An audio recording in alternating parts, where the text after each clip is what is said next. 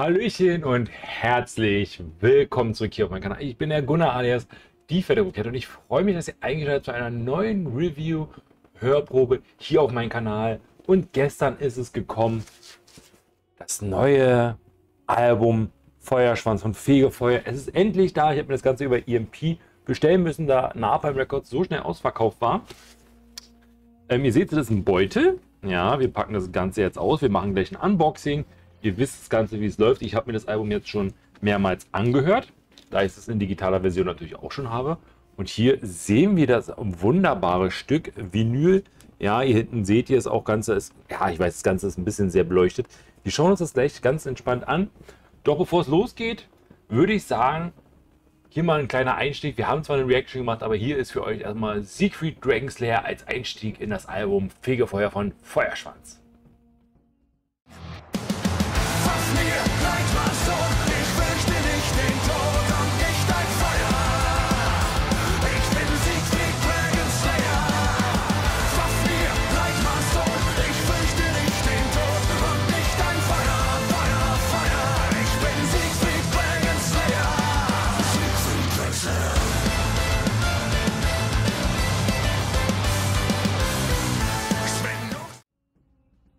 Ja, Freunde, da sind wir. Ihr seht, ja, das Ganze ist auch noch äh, eingepackt. Das werden wir jetzt mal ähm, ja, schauen, wie wir das Ganze am besten hier lösen, ohne es irgendwie... Ja, das sieht doch gut aus.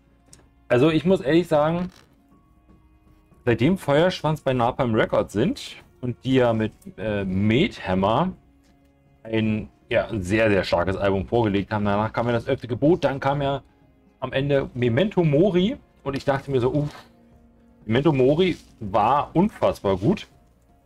Und wie wollen sie das noch toppen? Und tatsächlich kann ich euch sagen, sie haben es mit Fegefeuer wirklich wunderbar geschafft. Also, oh, guckt euch das Ganze mal an. Ich muss mal das Ganze jetzt ein bisschen Platz machen. Hier ist gar nicht so einfach. Das Album ist wirklich eine absolute Granate. Oh, schaut euch mal an, wie geil das aussieht. Herrlich. So, hier haben wir natürlich das Vinyl drin, aber guckt euch das mal an, wie geil das aussieht. Herrlich. Einfach nur herrlich. Wie gesagt, das ganze Album ist absolut genial. Ach, guck mal hier. Ja, voila. Oh, herrlich. Was ist hier? Aha, aha, aha, aha. Ich weiß jetzt gar nicht, was das genau ist. okay. Äh, ja, haben wir halt auch drin. Wir werden jetzt aber mal... Das sieht so gut aus. So. So. Genau, das Booklet. Wunderbar groß. Und hoch, herrlich.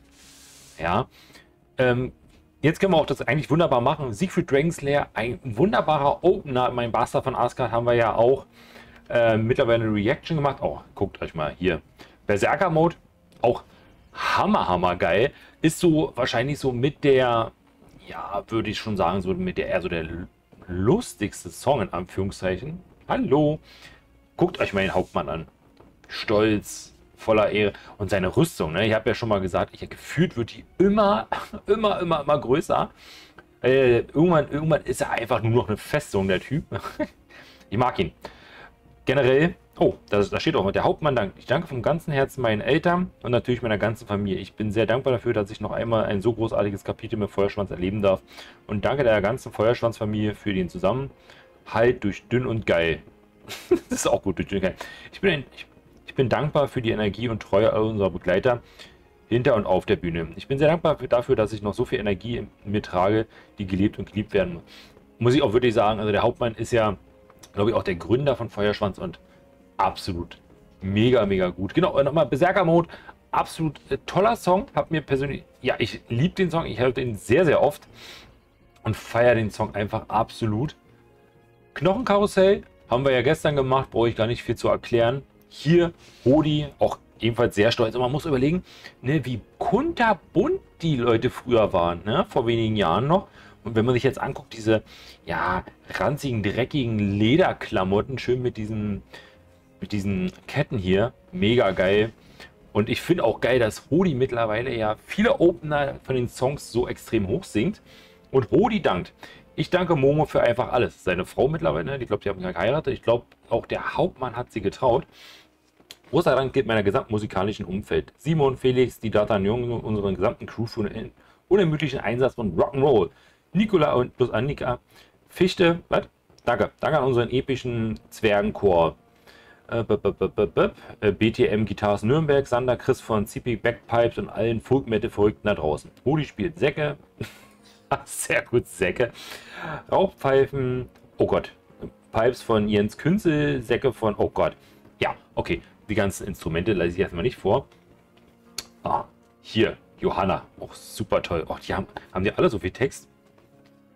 Ah, die haben alle so viel Text. Okay, ich würde sagen, die, ähm, die Instrumente lassen wir jetzt einfach mal außen vor.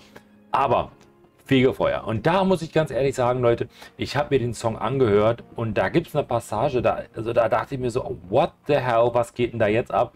Ich weiß auch gar nicht, wer von den beiden Jungs das äh, singt, ob Podi oder der Hauptmann. Aber ganz ehrlich, ich zeige euch jetzt mal die Stelle von Fegefeuer, die ich meine. Und da ist, da dachte ich mir dann wirklich so, what the hell?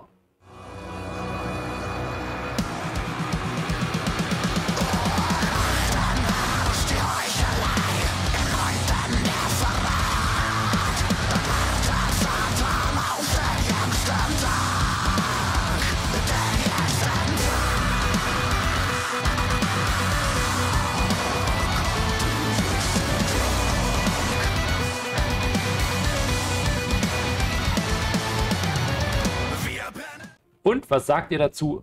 Ich finde es krass. Also, es ist wirklich so ein kompletter Ausbruch mitten im Song. Und ich fand das überraschend geil. Hätte ich im Leben nicht erwartet, muss ich ganz ehrlich sagen. Aber auch wirklich ein toller Song. Ähm, ja, der Titel zum Album, klar. Johanna auch, also generell alle Mitglieder haben sich ja extrem gewandelt. Und äh, mal ganz kurz, ich danke Joshua für ganz viel Liebe meiner Familie und meinen Freunden, die für Rückhalt und Unterstützung also ein besonderer Dank gilt Katrin und Jen für viel Freundschaft und Rückenfreiheiten, wenn ich wieder mal unterwegs bin. Ich, bedenke, ich bedanke mich bei Caroline Albrecht von Composite Bows und Instruments, deren tolle Instrumente ich spielen darf. Ich danke Andy für die großartige Zusammenarbeit. Gemeinsam sind wir stark. Einen großen Dank an all die Menschen im Feuerschwanz-Team, egal ob Booking, Label, Crew und die vielen fleißigen Hände, die noch im Hintergrund mit anpacken. Ich arbeite unfassbar gerne mit euch zusammen ohne euch würde hier gar nichts funktionieren. Und zum Schluss geht mir ein besonderer Dank an meine Bandfamilie. Jeder von euch ist für, für sich einzigartig, großartig und ich freue mich auf ganz viel Abenteuer mit euch. Mega geil. Johanna, glaube ich, auch schon seit ja, fast Anfang an dabei. Ich bin mir gerade gar nicht so hundertprozentig sicher. Ja, Hans! Ne? Und die Horde. Muss ich ja sagen, ähm, die Horde auch ein toller Song. Ich habe erst gesagt, das ist so, ja, könnte man eigentlich schon sagen, so, mit das Trinklied irgendwie. Ich bin mir jetzt, jetzt so, ja, so Trink-Spaßlied, würde ich jetzt einfach mal behaupten. So der Song, glaube ich, den man gut mitbrüllen kann. Und ich gebe euch da jetzt einfach mal einen kleinen Einblick. Also viel Spaß mit Feuerschwanz und die Horde. Und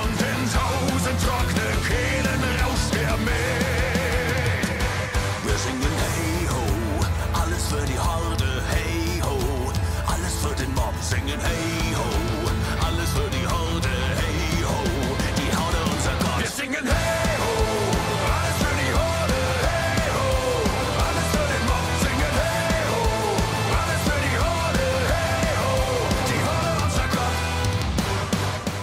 ja, mega geil, oder? Und wie gesagt, Hans auch wirklich ein unglaublich guter Gitarrist, hat ja auch eine tolle Nebenband.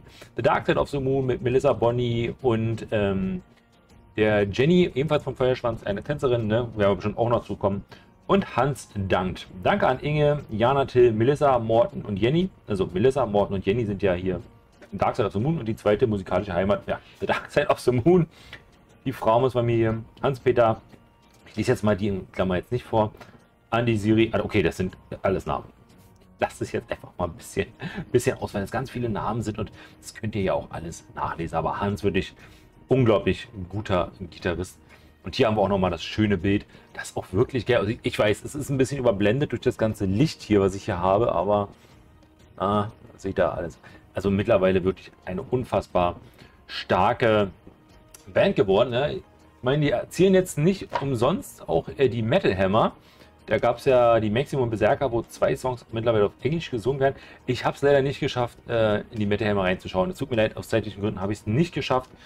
Aber kauft euch das. Sehr interessanter Artikel auch zu All Metal. Da kommt morgen auch eine Review. Also nur so mal als, als Hinweis. Jane am Bass natürlich. Urukai. Ganz ehrlich, da habe ich mich mega doll drauf gefreut, als ich das gehört habe, dass der Urukai, ich bin ja, ich liebe Herr der Ringe und ich finde Feuerschwanz und Herr der Ringe, das passt wirklich ziemlich gut. Und ja, Urukai. Mega geil. Text äh, bei Ben. Und guck mal hier. Musik hat äh, Ben, Hans Platz und Simon Michael von äh, Subway to Sally mitgearbeitet. Ich glaube, das ist Simon Michael. Und Urukai ich blende euch einfach mal ein. Gerade schon dieser Song, darum hört ihr auf euren Herrn und Meister Saruman. Also viel Spaß mit Urukai. Rüstung dick, die Schilde breit und das Schwert fest in der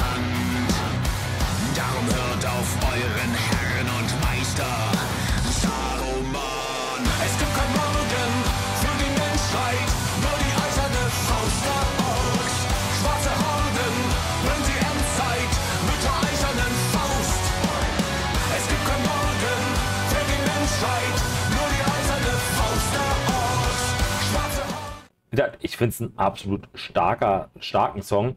Habe auch einfach mega viel Spaß gehabt. Generell, wie gesagt, das ganze Album ist unfassbar gut. Ich hätte nach Memento Mori ehrlich gesagt nicht gedacht, dass ähm, Feuerschwanz nochmal so einen drauf hämmern. Aber sie haben es einfach geschafft. Und du merkst einfach, dass die unfassbar viel Bock und Spaß haben. Und ich glaube, wir können uns einfach noch eine ganze Zeit lang auf mehr von Feuerschwanz freuen. Und Jane dankt. Oh Gott. Mein besonderer Gedanke geht an meine Familie und Freunde, die mich immer unterstützen und zu jeder Zeit zu mir halten. Insbesondere Mama Conny, Lena, Leo, Jenny, Arne, Brad und Damien. Ich möchte mich weiterhin bei Markus K. und Daniel und Markus F. bedanken. Ihr haltet mir selbst in den stressigsten Phasen den Rücken frei. Ohne euch wäre das hier alles nicht möglich. Ich danke dem ganzen Warwick-Team für die wunderschönen Instrumente und die tolle Unterstützung. Zu guter Letzt will ich der gesamten Feuerschwanzfamilie danken. Jeder einzelne von euch bereichert mein Leben ungemein. Danke, dass ich es mit euch allen erleben darf auch wirklich toll. Jan ist auch, ich weiß gar nicht, seit wann der dabei ist. Ist der schon seit Methammer dabei oder erst seit dem 11. Gebot? Ich glaube, seit Methammer, glaube ich, ne? Ich bin mir gerade gar nicht so. Ich glaube, seit Methammer oder noch früher. Weiß ich Ich finde dieses Rollo, klar. Der Neuzugang an den Drums. Highlander, stimmt. Es gab ja auch noch den Song Highlander. Wie gesagt, also ich kann natürlich nur empfehlen, kauft euch das Album. Sei es digital, sei es in physischer Form.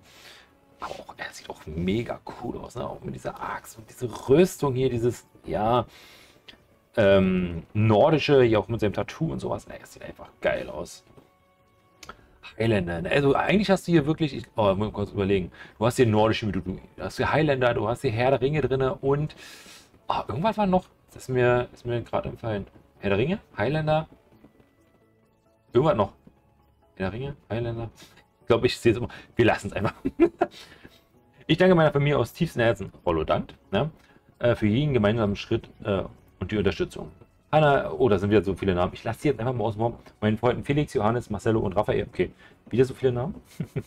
Ein weiterer Name gilt dem Land Schottland, das es so tollen Whisky produziert. Weil Rollo ist, äh, glaube ich, ein sehr großer Whisky-Liebhaber. Das sieht man, glaube ich, auf Instagram auch.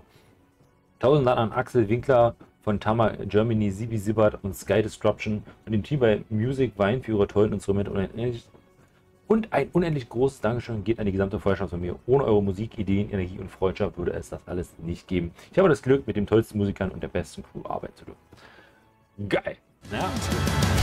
Sie nannten ihn Highlander.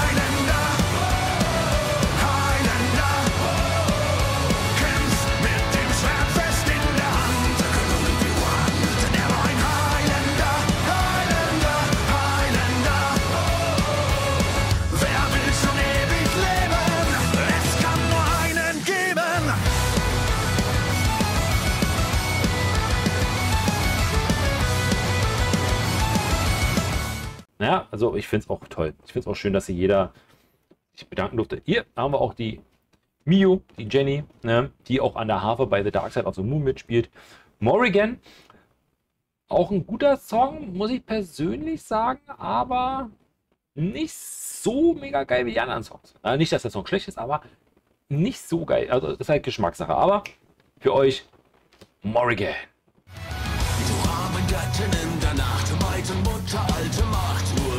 Alten Volk bekannt.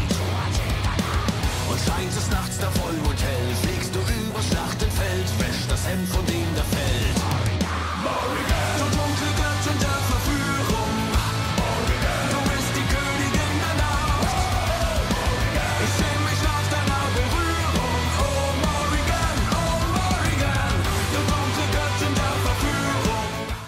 Jetzt könnt ihr euch selber ein Urteil bilden. Ich möchte noch kurz sagen, Mio Dank. Ich danke meiner gesamten Feuerschwanzfamilie. Gemeinsam dürfen wir unvergessliche Momente erschaffen und erleben auf weitere Jahre voller Rock'n'Roll. Ich danke meinen Dream Film Factory Jungs, Artem und Dan. Ihr bereichert mein Leben. Ich danke Mama, Papa, Jenny, Robert. Ich, sag, ich lasse ich lass, ich lass die Namen einfach mal ein bisschen außen vor. Ne? Sonst wird das zu lange. Den sollen die mir halt im Chaos geben. Ich danke meiner Dark Side of the Moon Familie, Melissa Morton und vor allem voran Hans. Ich danke, dass du an mich glaubst und danke an alle anderen Sterne, die immer zu mir stehen. Sehr schön. Tanz und Performance. Und da haben wir noch genau die Muschmusch, die jetzt auch, glaube ich, seit, schon seit Ewigkeiten mit dabei ist. Herrlich. Ich dachte ja früher, ja, mir würde ich irgendwann explodieren lassen. Das ist alles, glaube ich, Greenscreen. Frechheit, nein, Spaß. Eis und Feuer, auch sehr schön. Ich glaube, das oh, ich hoffe, ich verwechsel das gerade nicht mehr. Ich glaube, das mit der, so der folgigste Song. Da sagt man jetzt der folgigste, nee, der größte Mittelalter-Song. Ihr merkt schon, ich ziehe das ganz. So viel dürfte jetzt gar nicht mehr kommen. Genau. Ich sage also erstmal für euch Eis und Feuer. Viel Spaß.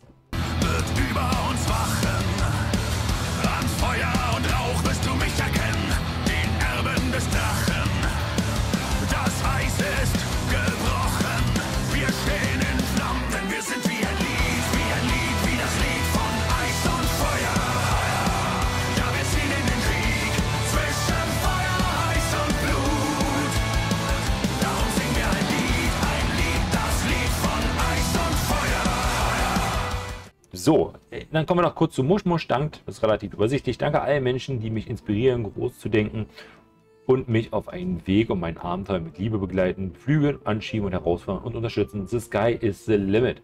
Ja, kann man nicht anders sagen. Auch sehr schön immer mit dabei. Valkyren. Sehr geil. Der Text hat, glaube ich, ich guck mal kurz nach. Text hat durch fast alle Ben gemacht, ne? So wie ich das hier sehe. Ben, Ben, Ben, Ben, Ben, Ben. Ben. Oh, Ben. Ey, mal, wo nimmt dieser Mann Peter Henry Sieg? Ich weiß gar nicht, wer das ist. Ist das. Ich glaube, das ist der Hauptmann, ne? Der Peter? Ich glaube, Peter ist, glaube ich, der Hauptmann. Ich bin mir gerade nicht so hundertprozentig sicher, aber ich glaube ja. Also Ben, ich weiß nicht, wo der Mann diese Zeit hernimmt. Er, er hat ja noch Datan Young nebenbei. Wahnsinn. Genau. Valkyren, auch ein unfassbar starker Song. Und ich habe auch äh, übrigens eine Kritik, muss ich an dem Album äußern. Kommen wir gleich zu. Aber Valkyren erstmal für euch, weil ich finde diesen Song unfassbar stark. Ich glaube, das war der, äh, der sehr viele extreme Folk-Elemente drin hat. Deswegen für euch jetzt Valkyren von Feuerschwanz. Bringt mich heim, bringt mich heim, Walküren bringt mich heim, mit des Mondes hellem Schein mir zum Geleit. Bringt mich heim, bringt mich heim, Walküren bringt mich heim, auf goldene Flügel reit ich einen Odins heim.